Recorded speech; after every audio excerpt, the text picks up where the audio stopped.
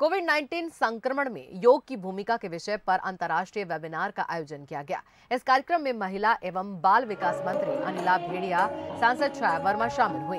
मंत्री अनिला भेड़िया ने कहा कि योगा, योग करना बेहद ज़रूरी है। कोविड काल में भी बहुत से लोग योगा करते हैं। कोविड संक्रमण को परास्त करने में लोग योग कर कर सफल रहे। सभी को अपने जीवन में इसे शामिल करना चाहिए। छत्तीसगढ़ में योग आयोग जिस तरह से काम कर रहा है वो भी बहुत ही सराहनीय है। जारी करें। मैं योग आयोग के माध्यम से हम लोग जन जन तक इस संदेश को पहुँचाने की कोशिश किए थे कि इसमें अनुलोम विलोम है और शारीरिक जो योग आयोग कराते हैं, उससे बहुत फ़ायदा मिलेगा।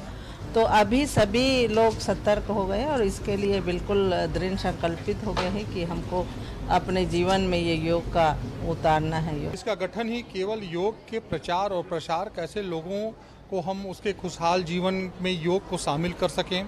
कैसे उनके दिनचर्या में योग से उनकी शुरुआत कर सकें, इन सारी बातों को लेकर के योग आयोग निरंतर जब से उसका गठन हुआ है, ये प्रयास चल रहा है। उसी तारतम्य में आज हम लोगों ने ये अंतर्राष्ट्रीय वेबिनार का आयोजन किया है, जिसमें लगभग देश विदेश से 1500 से ज़्यादा प्रतिभागी इसमें भाग ले रहे हैं।